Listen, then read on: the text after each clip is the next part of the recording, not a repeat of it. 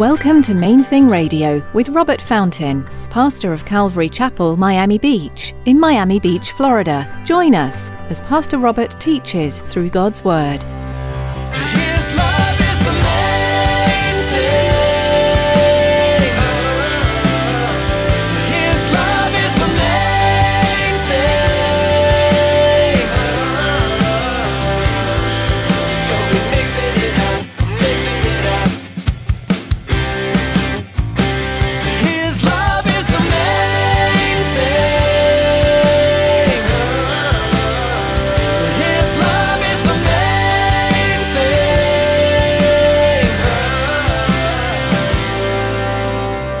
Come away from this with the idea that Jesus doesn't care about the needs of the poor, because clearly he does.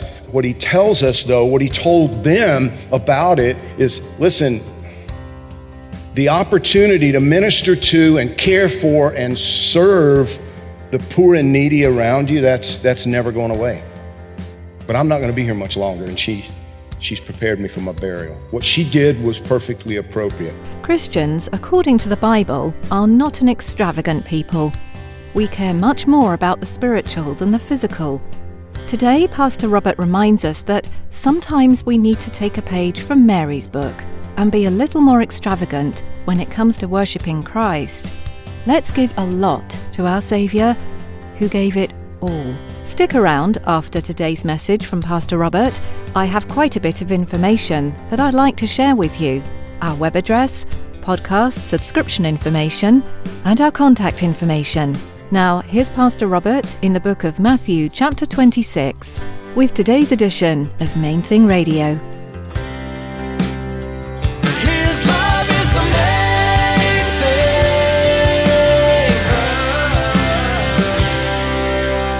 And when Jesus was in Bethany at the house of Simon the leper, a woman came to him having an alabaster flask of very costly, fragrant oil. Perfume, in other words. And she poured it on his head as he sat at the table.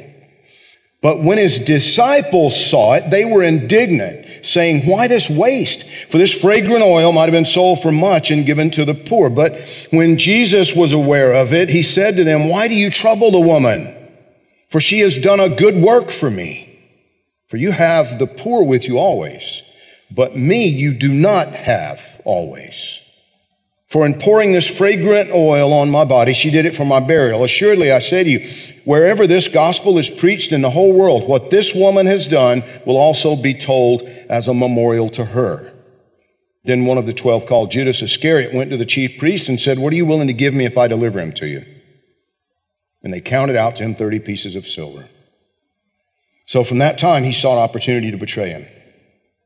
Now, John's gospel, you know, gives a little different perspective, a little more detail on this. It tells us that Bethany was where Lazarus and his sisters, Mary and Martha, lived. And, and Lazarus was at this dinner. He was seated at the table and, you know, there in, in the home of Simon the leper, apparently. John doesn't tell us that that's whose home it was in. It just, but he tells us that Lazarus was there at the dinner table, and it was his sister Mary who came with this alabaster jar of perfume. John also tells us not just that it was very expensive, but he puts a number on it. He says 300 denarii.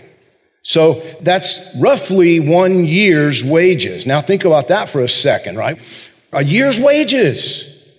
Now, the average household income, average income of a family in the city of Miami in 2018 was a little over $53,000.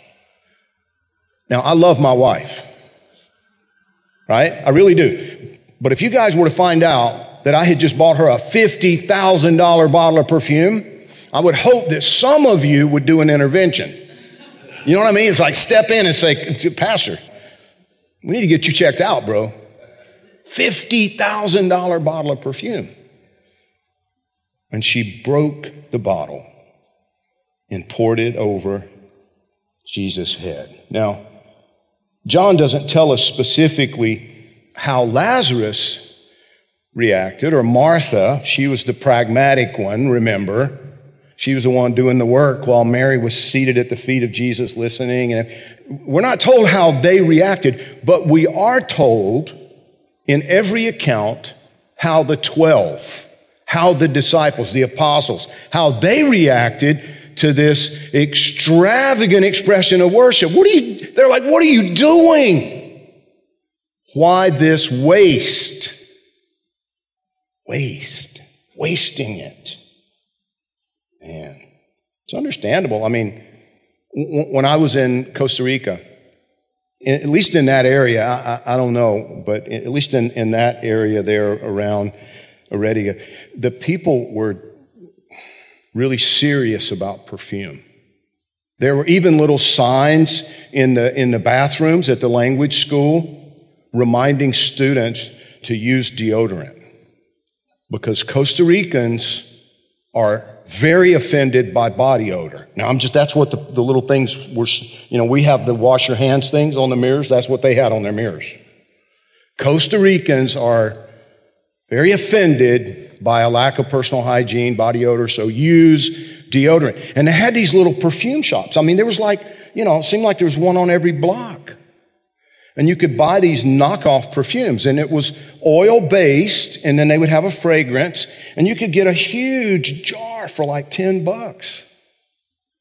Now, I'm reading this story and I'm thinking, yeah, I kind of get it. I mean, a, I don't know, $5 bottle of olive oil and some cheap perfume, and the whole house would have still filled up with the fragrance. Do you understand what I'm saying? She took $50,000 worth of perfume and poured it over Jesus. I mean, you just, you can't, you can't argue that this wasn't extravagant. This was extravagant. But Jesus told him to be quiet. Nobody else understood.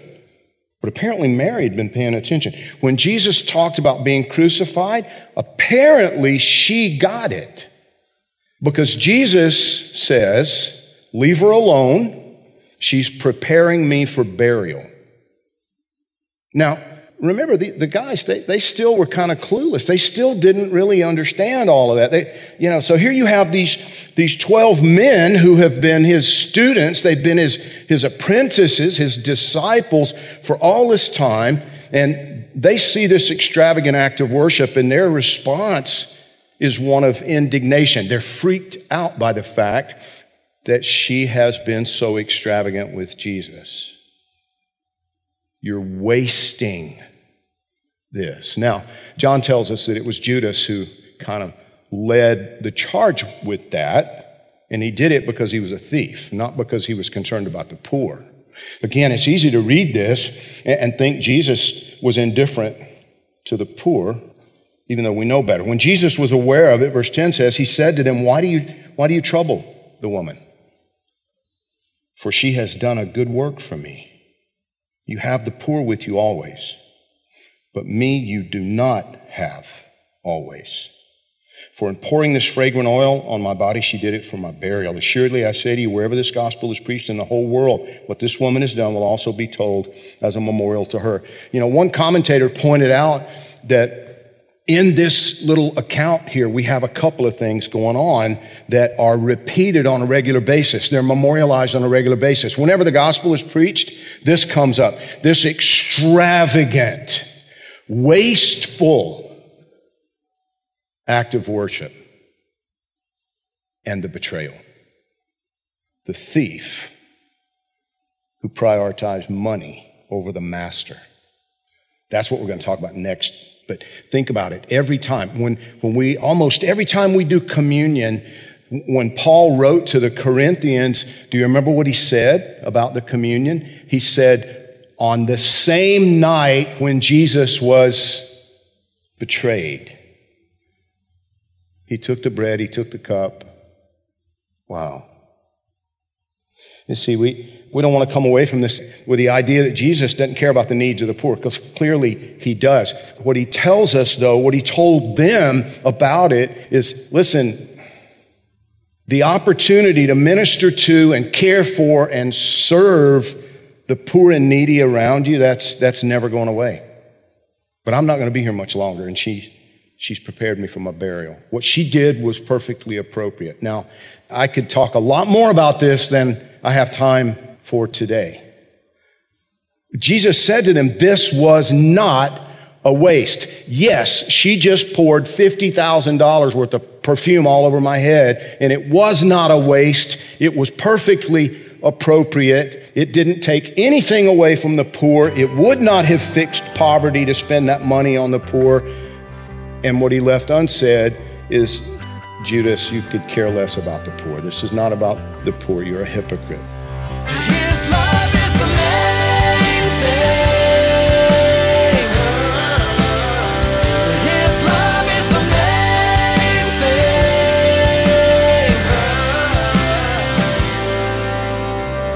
This first book of the New Testament informs you well about the Son of God, Jesus Christ. It details his birth and life, his ministry, and then his death. But it also tells you that he rose again. Jesus is victorious over death. And even more, he's alive today. Your Saviour lives. And you can rejoice in that. As you listen to Pastor Robert's message today on Main Thing Radio, you may have realized that you've never given your life to Jesus. Or maybe you've been a believer for a while, but you haven't taken steps to actively live for Christ in your daily life. Today's the day to change that. You can start right now. We'd love to talk to you.